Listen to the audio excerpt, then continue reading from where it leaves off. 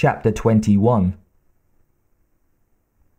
My grandfather tells me that my brother might finally understand his place in the way of things.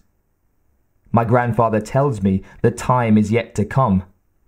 He is a powerful Yattali. I must believe him. I must remain at my brother's side until the time is right for him to slay the monster. Hey, Corporal! Tilden's voice broke into Nakai's memory of the last time he had seen his grandfather alive. Can you hear me there? I'm sorry, Nakai said, scanning the desert, seeing nothing. Just drifted off there for a second. Been a long day. Yeah, Tilden said. It has at that. They stood in silence for a moment. Nothing moved around them, and no noise came from the centre of town. A warm wind drifted off the desert, bringing nothing but normal smells to Nakai. The creature wasn't out there in this direction. That much was for sure. And guarding this end of town was a waste of time. It was simply a way to keep him out of the kill. Nakai shifted his feet, and the loading dock creaked beneath him. He wondered how secure it was. The abandoned warehouse had been old when he had first come to Agate. He leaned his head against the rough wood and tried to peer deeper into the desert. The silence was eerie. The shadows from the town's lights were right, but the background noise was all wrong. At this time of night, he should have heard more than one car rev its motor as it was heading into town or straight down the desert road. The music from Ben's saloon would have carried this far as well. Provided it was a weekend and Ben had hired a band, or what passed for a band in Agate. And if there was no music, there would at least be conversation. Loud, drunken conversation, usually about pool, usually spilling out into the roadway. There was nothing. Nothing except Tilden breathing softly beside him. Shouldn't the kid be walking point at least? You know, Tilden said, breaking the silence. He had amazing timing. Nakai was about to tell him to scout a bit. They mentioned at the briefing that this creature had some sort of deadly ray that killed people. Yeah, Nakai said. Instantly, the image of his blue flash cutting through Deetle rose into his mind. He'd have that memory for the rest of his life, and it would come at the most inconvenient moments. Damnation!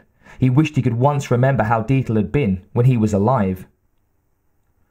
The weapon fired like blue lightning. I was the one who told them about it. Wonder why the creature didn't use it when we attacked it, Tilden said. Think its ray gun might be broken or something?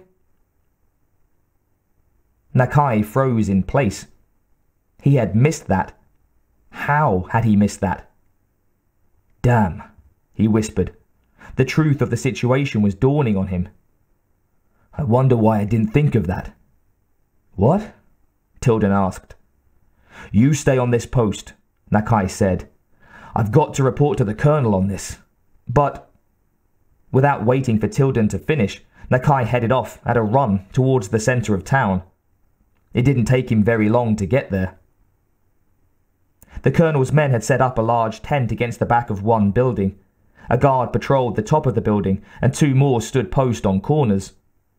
Inside the tent, Nakai could see the colonel sitting at a table, studying a map. Nakai slowed to a walk when he reached the sentry positions. Outside the edge of the open tent flap, he stopped and saluted. Colonel, sir. The colonel glanced up, frowning. What is it, Corporal? His voice was tired and sounded annoyed. Begging the colonel's pardon for the interruption, but I've got to talk with you, sir. The colonel motioned for Nakai to come in, but he didn't offer him one of the open chairs. Instead, he went back to studying the map. The colonel had really changed his mind about Nakai. Or was he afraid of him? Afraid of a man who had come through the desert on his own, who had survived meeting that creature, not once, but three times. Sir, Nakai said, I believe the creature has a camp the colonel looked up. A camp. Yes, sir, Nakai said. When this creature killed Deetle, it was with a blue bolt of some kind or another. And when I came upon the creature in the desert, it fired on that cat using the same weapon. Yet tonight it didn't fire on us. The colonel studied Nakai. Do you believe you have some special understanding of this creature, Nakai? Yes, sir. The colonel brought his head back, as if he were surprised. Nakai held out his hands. He would make or break his own argument here. Now. I've had more time to study it, sir, than anyone else has, and I've been thinking about its patterns. Its arts are like a hunter. A hunter. Nakai nodded. It has travelled here alone, and it hides. It stalks its prey, and it's very careful to take souvenirs. It carries those souvenirs with it. That doesn't mean it's a hunter, Nakai, the colonel said. Tourists carry souvenirs. That's my point, sir. If you were big game hunting in Africa, wouldn't you make sure you kept a scrap of everything you bagged? A tooth, an antler, something, even if you ate the creature. The colonel kicked out a chair and sighed. You certainly make a good argument, Nakai. Have a seat. Nakai sat down. A hunter. Yes, sir. It doubles back, it watches us. It's prey. It uses weapons in very precise ways, and when it's outnumbered, it runs. That seems only logical, the colonel said. And remember, it seems to have some kind of camouflage ability. Nakai cleared his throat, uncomfortable with this next. And when it has time, it dresses its kill like we would dress a deer. The colonel slid the map toward Nakai. So you think it has a camp? Yes, sir. Nakai's heart was pounding. He had convinced the colonel to respect him again. That was critical. Once he had the man's full respect, he would request a return to duty, real duty. That meant going after the creature. A camp, the colonel mused. Well, why not? If it can fly a craft, it can build a camp. Then his eyes narrowed. But we're making assumptions here. Just because the creature didn't fire on us doesn't mean it wasn't carrying its weapons. True, Nakai said, but there's another detail I missed this morning that I should have seen. The creature left a trail from the site where it killed the big cat towards the north, and then back again. He obviously went into those lava flows and returned for some reason. I didn't give it much thought, since they were older tracks, but if his camp is in those lava rocks, he might have left weapons and supplies there before he blew up his ship in coal. Setting out from camp without a weapon doesn't make much sense, the colonel said, thinking aloud. He shook his head slowly. But then, from what I've seen of this creature, it doesn't need a weapon most of the time. Yes, sir, Nakai said. Now was his chance. I might just be able to track it back to its camp if you give me a chance. Well, the colonel sat back and thought for a moment. He never finished his sentence. Suddenly, the sound of gunfire echoed over the town, coming clearly from the north side, where Major Lee had gone. Where the creature had gone. Nakai was off his chair instantly, his rifle ready. The colonel stood and moved around to stand beside him, both of them listening. Damn it, the colonel said. I told them not to engage the creature until we had the right men and equipment here. Maybe they didn't have a choice, sir, Nakai said. The creature rarely gave anyone a choice. The colonel nodded. Silence covered the town as everyone waited. Nakai admired the colonel for not sending more men to investigate at once. A lesser leader would have done just that, and possibly sent even more men to their deaths. Instead, the colonel stood and waited. Within a minute of the gunshots, Major Lee and Private Corrales came running at full speed around the corner of the destroyed hardware store.